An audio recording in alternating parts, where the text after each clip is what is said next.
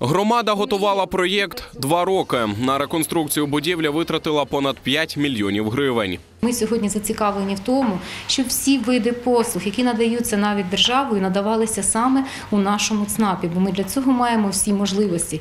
Тепер у Покровському ЦНАПі можливо буде отримати 156 видів послуг. Серед них соціальні та земельні. Можна зареєструвати нерухомість та бізнес. Наступного року кількість послуг планують збільшити до 200. І це дійсно знакова подія для нашого регіону, тому що нас стає більше, і ми стаємо більш міцними і е, більш е, такими розвинутими. ЦНАП облаштували. Крім того, спеціалісти центру зможуть обслуговувати людей з обмеженими можливостями безпосередньо прямо вдома. Для цього в поміч нові мобільні кейси. Ми поїхали в якийсь населений пункт.